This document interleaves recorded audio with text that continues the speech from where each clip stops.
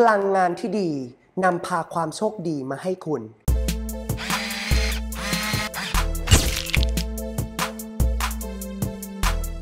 สวัสดีครับ พบกับจริตครูตุ้ย Image Expert วันนี้นะครับครูตุ้ยจะมาเล่าเรื่องเกี่ยวกับพลังงานที่ดีให้ทุกๆคนฟัง คุณเคยไหมว่าตื่นนอนมาเนี่ยแล้วรู้สึกแบบ หมองมัวมาก คุณคิดเครียดมากเลย เพราะอะไร คุณลองนึกดีๆว่าตื่นนอนมาคุณเสพข่าวอะไรที่ไม่ดีหรือเปล่า หรือได้ยินอะไรที่มันไม่ดีหรือเปล่า แล้ววันนั้นน่ะ มันทำให้คุณรู้สึกเห็นอะไรแล้ว มันแบดเดย์ไปหมดเลยทั้งวัน ลองกลับกัน ถ้าเราอะเสพอะไรที่มันบันเทิง หรือสร้างพลัง สร้างความปรารถนาดีให้กับคุณ อย่างเช่น การฝึกสมาธิครับเพียงแค่คุณฝึก 3 นาทีไม่ต้องมากก็ได้ ฝึกไปเรื่อย ๆ เดี๋ยวมันจะเพิ่มนาทีของคุณได้ เพียง 3 นาทีของคุณเนี่ย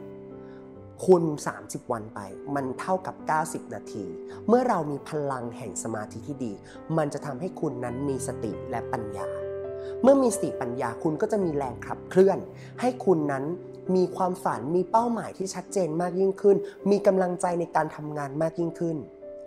เพราะอะไรนะครับจะบอกให้ฟังเลย มันคือพลังครับ พลังแห่งคลื่นครับ พลังแห่งการสั่นสะเทือนในบริเวณคุณ มันสร้างด้วยตัวของคุณเอง เรียกว่ากฎแรงดึงดูด เมื่อเรามีกฎแรงดึงดูดที่ดี ความโชคดีอะครับ และความสุขมันจะกลับมาหาคุณ คุณลองไปฝึกกันนะครับ เพียงแค่คุณสร้างกฎแรงดึงดูดด้วยตัวของคุณเอง คุณจะได้รับความโชคดีกลับมาจริง ๆสำหรับวันนี้นะครับ คลิปนี้ฝากกดไลค์กดแชร์ และฝากกดติดตาม C First เลยนะครับ ในช่องแฟนเพจ จริตคุตุย Image Expert สำหรับวันนี้นะครับ รักทุกคน สวัสดีครับ